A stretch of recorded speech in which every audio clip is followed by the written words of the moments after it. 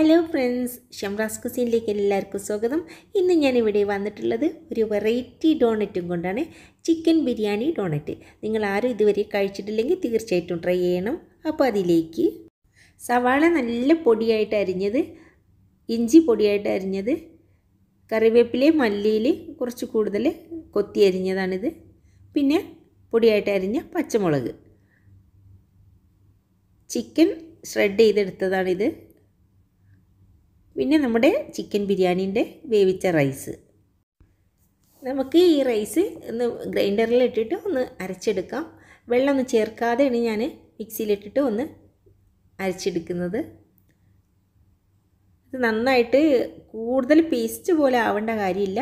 ഒന്ന് ചെറിയ രീതിയിൽ ഒന്ന് അരച്ചെടുക്കാം. നിങ്ങൾക്ക് എരിവൊക്കെ കൂടുതൽ ഇഷ്ടമാണെന്ന് ഉണ്ടെങ്കിൽ നമുക്ക് ചി മുളക് പൊടി പെപ്പർ ഒക്കെ ആഡ് ചെയ്ത് കൊടുക്കാം. ഞാനിതിൽ പച്ചമുളക് മാത്രമാണ് ആഡ് ചെയ്യുന്നുള്ളൂ. ഓൾറെഡി എന്റെ ബിരിയാണിയിലൊന്നും ഒരുപാട് സ്പൈസുള്ള ബിരിയാണിയല്ല.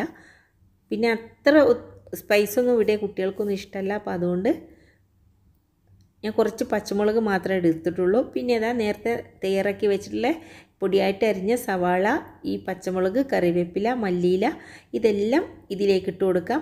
ഇപ്പോൾ റൈസ് കുറച്ചൊന്ന് അരിഞ്ഞിട്ടുണ്ട്. ഇനി ഇതിലേക്ക് ഇതും കൂടെ ചേർത്ത് കൊടുത്ത് ഒന്ന് ചെറുതായിട്ട് ഒന്നും കൂടെ അടിച്ചെടുക്കണം.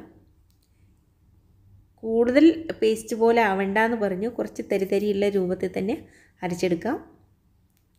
ജസ്റ്റ് ഒരു ഒന്ന് ഒന്ന് ക്രഷ് ചെയ്തെടുത്താൽ മതി.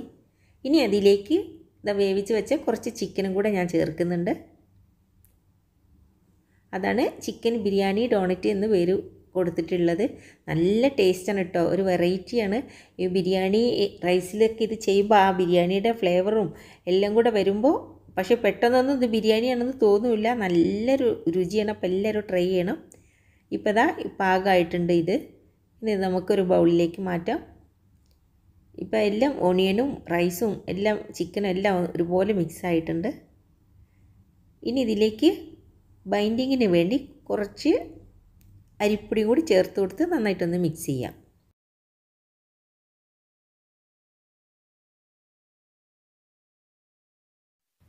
ഇപ്പോൾ ഇത് റെഡി ആയിട്ടുണ്ട്. ഇനി നമുക്ക് ഇതിൽ നിന്ന് ഓരോ ബോൾസ് ആക്കി എടുത്തിട്ട് ഡോണറ്റിന്റെ ഷേപ്പ് ആക്കി എടുക്കണം. ഓരോ റൗണ്ട് റൗണ്ട് ഷേപ്പായിട്ട് ചെറിയ ചെറിയ ബോളായിട്ട് എടുത്ത് നടുക്കൊരു ഇട്ട് കൊടുത്ത് നമുക്ക് ഒരു ഡോണറ്റിന്റെ ഷേപ്പാക്കി എടുക്കുക.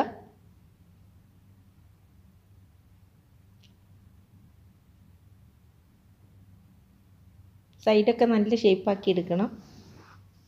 ഒരേ അളവുള്ള ബോൾസ് എടുത്താൽ നല്ല ഭംഗിയുണ്ടാവും കാണാൻ.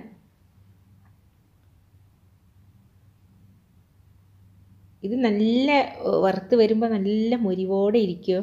പിന്നെ ചിക്കന്റെ ഫ്ലേവറും ബിരിയാണിയുടെ ഫ്ലേവറും പിന്നെ നമ്മുടെ കറിവേപ്പിലൊന്നും നമ്മൾ ബിരിയാണിയിൽ അത്ര ചേർക്കുന്നല്ല പക്ഷെ അതൊക്കെ ചേർക്കുമ്പോൾ വേറൊരു പ്രത്യേക ഒരു ടേസ്റ്റാണ്. അപ്പോൾ എല്ലാവരും ട്രൈ ചെയ്ത് നോക്കണം. നിങ്ങൾ ആദ്യമായിട്ടാണ് എന്റെ ചാനൽ കാണുന്നത് എന്ന് ഉണ്ടെങ്കിൽ ഒന്ന് സബ്സ്ക്രൈബ് ചെയ്യാൻ മറക്കല്ലേ? ഇപ്പോൾ ഇതാ ഇതുപോലെ ഇത് ഈ ഷേപ്പാക്കി എടുക്കുക. ഇപ്പോൾ റെഡി ആയിട്ടുണ്ട്. ഇനി നമുക്കൊരു പാൻ ചൂടാക്കാൻ വെച്ച് സ്വല്പം ഓയിൽ ഒഴിച്ചു കൊടുക്കാം. ഡീപ്പ് ഫ്രൈ ആണ് ചെയ്യുന്നത്.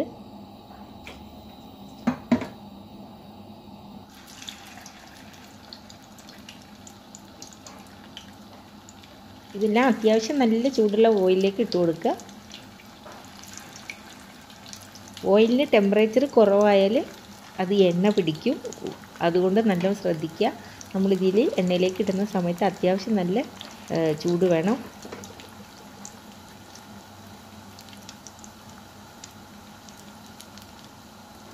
കാണാനും നല്ല ഭംഗിയാണ്. പെട്ടെന്ന് ഉണ്ടാക്കാനും പറ്റും. നല്ല ഈസിയാണ്. അപ്പോൾ നമുക്ക് എപ്പോഴും പെട്ടെന്നൊരു ഗസ്റ്റൊക്കെ വരികയാണെങ്കിൽ വീട്ടിൽ ബിരിയാണി ഓൾറെഡി ഉണ്ട് എന്നുണ്ടെങ്കിലും വൈകിട്ട് നമ്മൾ സ്നാക്കായിട്ട് ഇത് ഈ രൂപത്തിൽ കൊടുത്താൽ അവർക്ക് മനസ്സിലാവില്ല നല്ല ടേസ്റ്റാണ് കേട്ടോ അപ്പോൾ ഒന്ന് ട്രൈ ചെയ്ത് നോക്കുക ഇപ്പോൾ ഇതാ നമ്മുടെ ഡോണറ്റ് ചിക്കൻ ഡോണറ്റ് ഒരു ഭാഗം ആയിട്ടുണ്ട്. തിരിച്ചിട്ട് കൊടുക്കാം. നല്ല ഗോൾഡൻ കളറായിട്ട് നല്ല ക്രിസ്പി ആയിട്ട് ഇരിക്കും. അപ്പോൾ എല്ലാവരും ഒന്ന് ട്രൈ ചെയ്ത് നോക്കുക. പിന്നെ നിങ്ങൾക്ക് എന്റെ വീഡിയോ ഇഷ്ടമായാൽ നിങ്ങളുടെ ഫ്രണ്ട്സിന്റെ അടുത്തൊക്കെ ഒന്ന് ഷെയർ ചെയ്യുക. ലൈക്ക് ചെയ്യുക കമന്റ് ചെയ്യുക.